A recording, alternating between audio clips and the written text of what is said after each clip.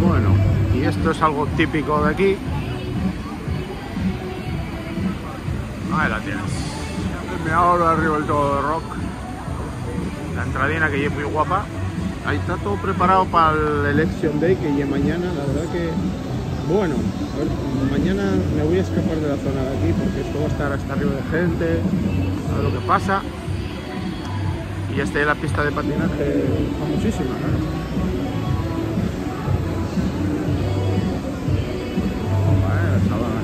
Patinando ahí.